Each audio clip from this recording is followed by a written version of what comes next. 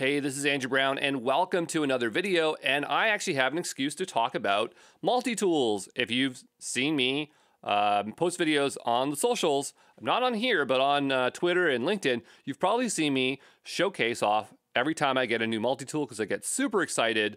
Uh, and I actually have a good reason to talk about one today because I received this as swag from a cloud service provider. So they've given me good reason to talk about multi-tools. And multi-tools actually have a lot in common with cloud service providers. And I want to talk about that, but before we do, let's take a look at this multi-tool and see what it can do. And then after all of that, we'll talk about who actually sent me this multi-tool. So this one is called a Leatherman. Uh, that's the type of a multi-tool or brand it is, and it is all based around pliers. So that's why it looks like this because you can pull it out and you get pliers. And different multi-tools are based around uh, one uh, very specific tool. And so it could be pliers, it could be scissors, it could be a knife, or it could be a certain type of knife, or maybe it's around a saw. Uh, and then all the other ones are packed into it. And um, you know, you could say this is like the best in class um, uh, service for this tool and the other ones are generally also really good. And then you have ones that are uh, all, right, but they're starting to pack them in there um, for convenience. And so, you know, we have pliers here and the other really good ones on this, and they're really good, is we have a knife. So here is our knife. Um, and so it's not broken, it's just serrated, right? And what I really like is that these lock into place. So that is a really cool feature because that way I won't uh, cut myself and that won't collapse down. Not a lot of multi-tools do that. So this, this is really, really nice. At least the ones that I've been getting. And on the other side, we have scissors. And this is interesting because they also lock into place. And the, um, the, the spring is here.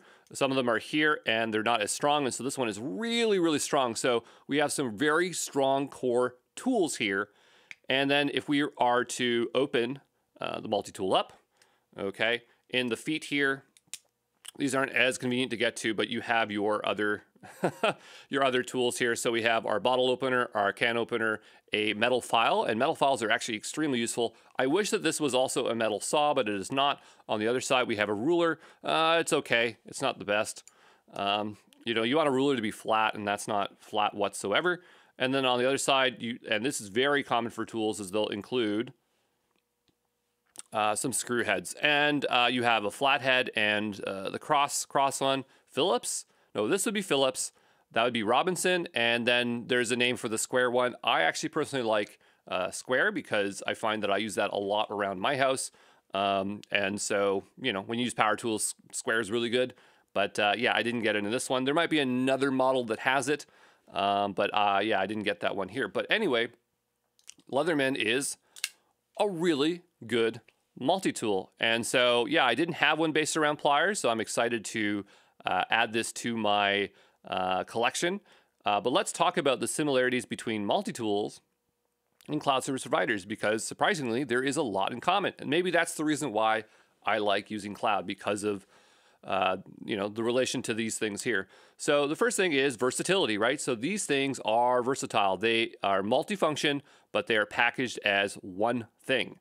Uh, and so, you know, when you look at this, uh, multi-tools will have common uh, tools that they always have or almost always have. So this one's pliers. Pliers is kind of um, the outlier, but, uh, you know, scissors, knife, file, a saw, Sometimes corkscrew is a very common one, or drill bits, right?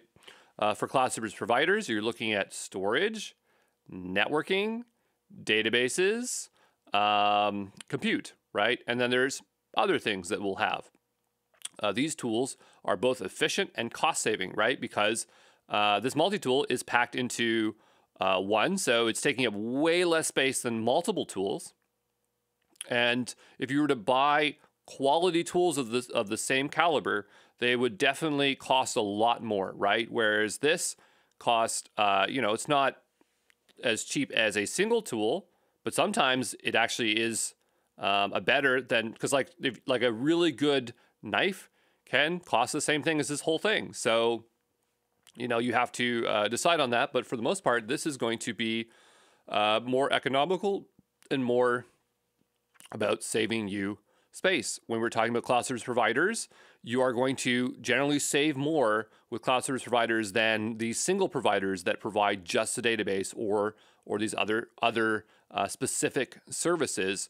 Um, and that's another thing. So another thing is that when we're talking about space, like think about your um, having a data center on prem, right? That is a lot of room. Uh, now you're saving a lot of room because that is now at the cloud service provider. It's still there, but the point is, is that you're saving space. That is my stretch to try to make that related there. Um, these things are super flexible. Um, even though you know these are uh, base tools, there's a lot that you can do on the go with these. Uh, like I've seen people drill holes with corkscrews or to use it to pick up logs. Um, I've seen people use metal files to um, or metal saws to uh, create arrowheads.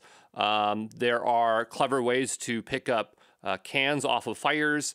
Uh, there's a lot of things that you can do uh, with these things. And the same thing with cloud service providers. They have a lot of tools that can be used also in conjunction to do things that you wouldn't normally think that were easy to do. Um, and uh, I think that is one of the best things.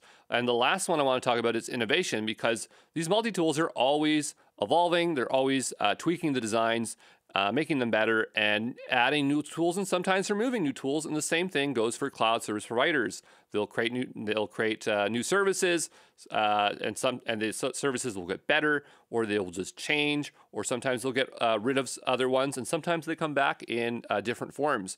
So yeah, there is a lot of relation there. So maybe I've sold you on multi tools. I think they're really uh, worth owning. Um, but yeah, this thing came from Google right? So it came from Google.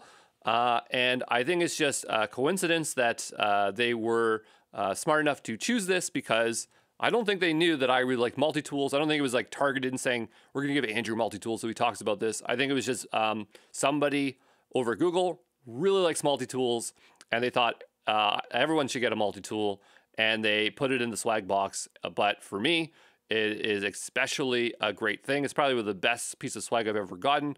I usually do not like swag. I usually complain about swag, but uh, I don't know. Google always seems to uh, really uh, surprise me there. But yeah, I bet you didn't think there was that much to, um, uh, to do with multi tools in cloud.